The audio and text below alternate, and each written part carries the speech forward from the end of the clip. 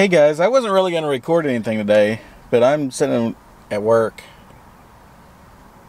and I saw a real bad wreck where a tractor or a, a truck that was pulling like a dozer or something like that. It was one of those type of trucks. It had pulled out and it looked like a car had come and went almost under the, the trailer. Half of it was smashed. And I don't know. I, to me, it looked like the car was at fault because the truck was, I mean, it was at the very end of the trailer. So, I mean, it's not like the truck was like just pulling out. I mean, it had been out for a while. And you know how slow trucks are when they're pulling out, especially pulling a big load like a, like a, some kind of, I don't know what it was exactly. I wasn't really paying attention. I let it, I know it was a trailer like that.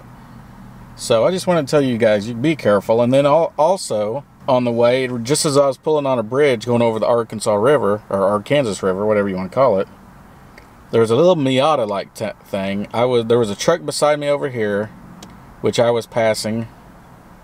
No, I was getting ready to pass, and uh, I was in the center lane. The car there's a little Miata type car coming up real fast in front of me there's a truck here, truck here.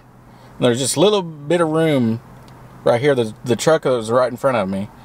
And this car came, darted in front of me, and then darted right between those trucks. And I don't know what they were doing, but it looked like it almost hit the the car almost hit the wall because I seen it jerk back, and the truck had to slow down. You know, guys, be careful.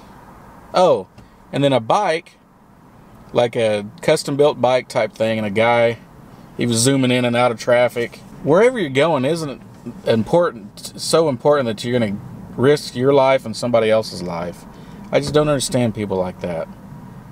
I know i understand i get aggravated with a slow driver in front of me but i'm not going to go and do that. That's just i don't know guys. Slow down and if you're if you're in that much of a hurry leave earlier I don't know, but that that first wreck, that was that was scary because I mean, in fact, I had I was just going through a light and it turned yellow right before I got to it.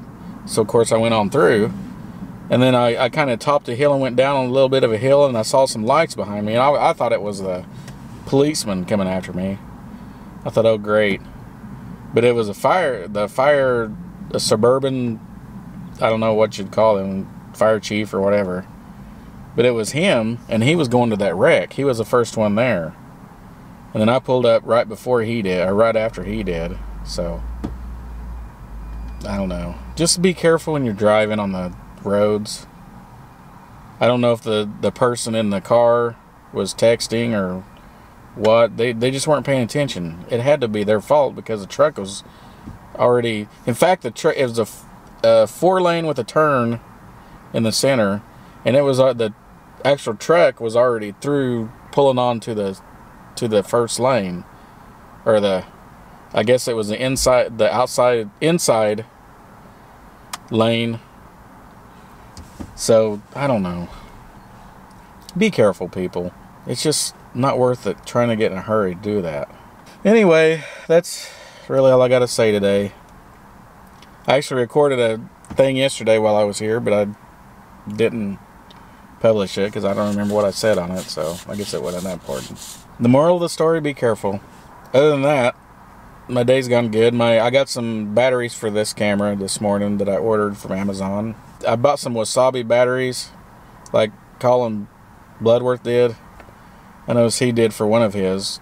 So, but it came with two batteries and a charger that you could either plug into a wall, and it had a car charger that you could plug into it. So I can do it while I'm traveling. And that's really what I wanted. So that's really all I got today. So I guess I will see you guys the next time. And uh, be careful out there, guys. I'll talk to you later. Bye.